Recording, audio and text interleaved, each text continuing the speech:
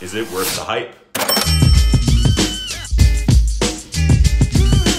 The skyscraper is absolutely worth the hype, but for two specific reasons that we did not expect. We actually spent the entire afternoon there. Of course, the views are insane. It's the largest building in South America. The building is exactly 10 times taller than Christ the Redeemer, which is a little funny and a little suspicious. For one, getting to the skyscraper is super easy. It only costs 16,000 Chilean pesos or about $18. And it's on top of Latin America's biggest mall, Costanera Center, which is worth visiting on its own. You just take an elevator from the mall up to the skyscraper and boom goes the dynamite. Reason number two, there's an awesome little cafe at the top of the skyscraper, 300 Skybar and coffee. We spent the entire afternoon drawing there and the cafe made us feel welcome the entire time. They said they were honored that we chose to draw there and they even asked to take photos of our drawings at the end.